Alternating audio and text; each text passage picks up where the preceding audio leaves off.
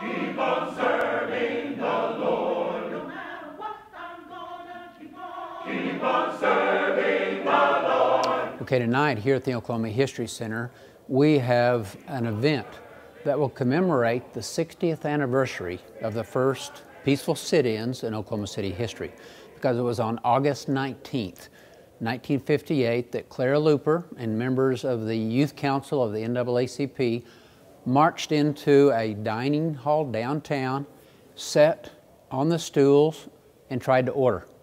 This was done at a time when we still had de facto segregation.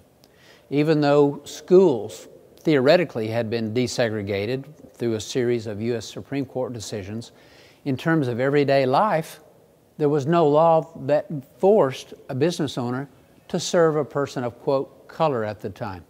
Clara Luper, Roscoe Dunjee, those pioneers of the civil rights movement knew that they had to change people, not just in the court of law or in the state or national capital, but in their hearts and in their minds. And their idea was to take this struggle into the restaurants downtown, with the press writing about it, with this new thing called television, bringing those images into people's homes. And at the time, even though we had been segregated since 1907, Senate Bill number one was the Jim Crow bill that people, because of the pigment of their skin, could not go to certain neighborhoods, could not go to churches, to schools with, with white people. It was still kind of a, a distant concept to most Oklahomans because the races were so segregated. White people did not know the impact of segregation on a daily basis. I never went to school with an African American until I went to college. And I'm not an old, old man, but I never had that experience. I didn't know I was being a victim of segregation in my own little slight way. But I was because I was denied the right to make friends and to learn about other cultures and the diversity and the richness of the people of Oklahoma City. But here it came into our living rooms. And in the days of live television, it was so much different than it is now with the streaming world, with this oversaturation of media. Then that television was another member of the family. And suddenly, right there before our very eyes, we could see young people, these innocent young kids, risking their own safety to make a statement. And led by that dedicated leader, Clara Luper, they were willing to take that risk to change everything thereafter. And gradually, the hearts and the minds started following the letter of the law and said, yes, we should treat everyone the same because of the pigment of a person's skin. Does not mean they should be denied their civil rights. Everyone should be treated equally. Well, this event that we're holding here at the History Center tonight to commemorate the 60th anniversary of the sit-ins is done for a very specific purpose. We need to not just remember the, the bravery and the commitment and the sacrifice made by those people during the sit-ins, but we need to have that dialogue today. Yes, racism was a part of our story on August 19, 1958. Today, racism is still part of our lives. We still have to have dialogue. We have to understand that it's too easy to fall in to hate and bigotry and a lack of respect for others. It's so easy. We've seen that leaders can dehumanize other groups of people because of the pigment of their skin or their nationality or their religion. And it's so easy for people to be confused. We have to remind people that racism is still part of our lives today. We've got to push back. We have to follow the examples of people like Clara Luper and those children willing to take that risk. And that we too have to take the risk and speak up against racism and bigotry and the politics of hate and fear, people who try to divide us. And to remember that we are one community and we should treat everyone equally. We lived in a neighborhood called Carverdale Addition, one of the more upscale African American communities. And um, so, in many, inst- in, in, in, many sense, in many senses, uh, we were insulated pretty much from segregation. Uh, our parents would uh, prepare us to go downtown. Make sure you're going to the bathroom. Make sure you had something to eat, and uh, and so we, without knowing it, we were being navigated through the the worst part of, of, of segregation without even knowing it. Yeah.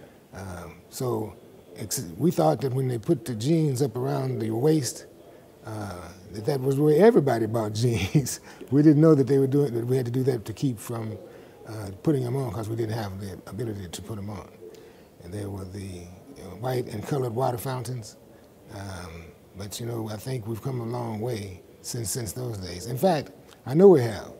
Um, here at the History Center, I had a chance one one afternoon to watch kids playing with our exhibit on white and colored water fountains, and they were trying to make water come out, which it wouldn't it wouldn't do. Yeah. But uh, I finally heard one of them in frustration say, "Well, what color is the water supposed to be?" I mean, they thought color meant colored water. Yeah.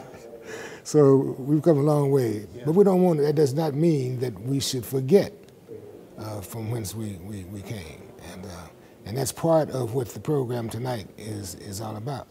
You know, Oklahoma played a very unique uh, uh part of the civil rights movement in America, and uh, none more important than what those young kids did and Clara Luper did on August the 19th, 1958, uh, when they wanted to change the world.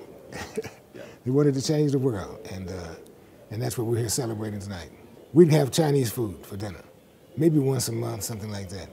And it was a ritual that we would go through all, the, you know, we'd all pile up in the car and, and, and go downtown and go to a restaurant and get the food. And uh, I was standing, I was sitting in this gallery, in this exhibit, uh, probably doing a tour, when it finally dawned on me.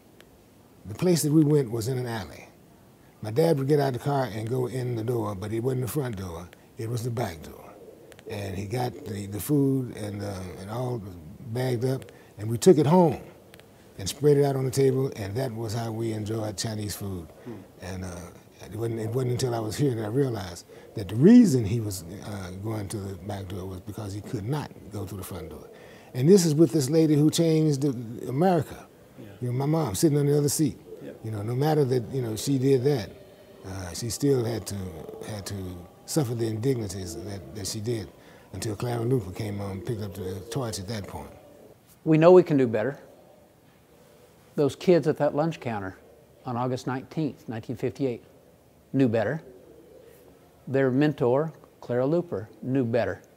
We've got to make sure those lessons are preserved in the collections, in these exhibits, through programs like we're showing tonight, Hopefully, at the 75th anniversary, I'll be long gone, but hopefully, there'll be an administrator. He says, wait a minute, we still need this dialogue. We have not overcome the limitations of our human DNA, and racism is still a part of our lives, and I have no doubt it still will be. So, how do we deal with it?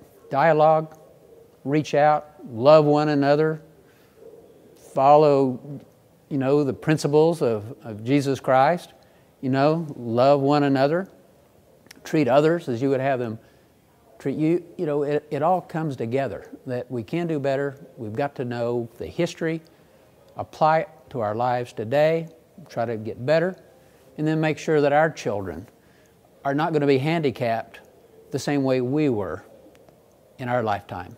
And that those young children growing up in African American families did not have to suffer what those kids on August 19, 1958, had to go through, going into a hostile environment and saying, We too are human beings. Treat us equally. Uh, we need to make sure people remember that story.